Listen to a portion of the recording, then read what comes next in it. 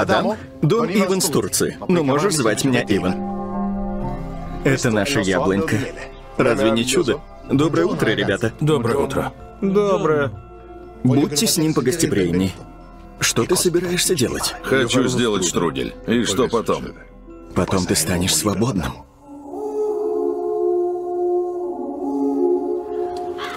Почему нельзя позволить им есть яблоки? Потому что это яблоки Адама. Он приготовит нам свой знаменитый штрудель. По-твоему, сатана не хочет, чтобы я испек штрудель? Началась битва, Адам. Жестокий неофашист. Это твой отец? Я должен приготовить штрудель, а поп сказал, типа, сатана мне мешает. После такого не живут. Это я тебе гарантирую. А что, и у церкви можно было стрелять? Чего же ты раньше молчал? Все прошло отлично. Веселья мало.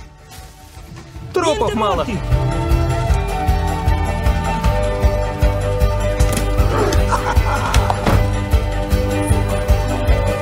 Знаете, что я думаю?